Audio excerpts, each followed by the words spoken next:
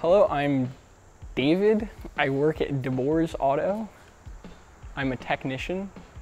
I got started in the automotive industry purely out of necessity for fixing my own broken garbage.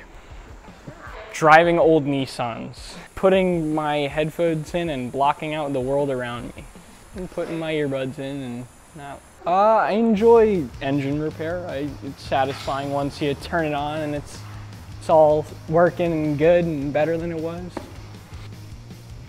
A repair I was uh, proud of was uh, my first head gasket.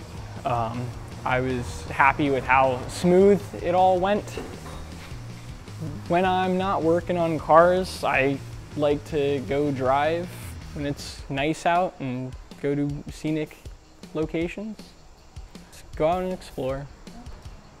I joined the DeBoer's Auto team because it was uh, very convenient and I felt like I could grow there as a technician.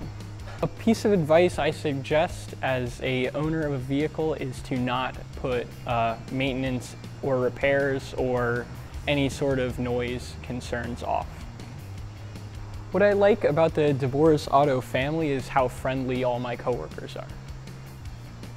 A little thing I do every repair, I like to double check and triple check everything to make sure that everything is how it should be.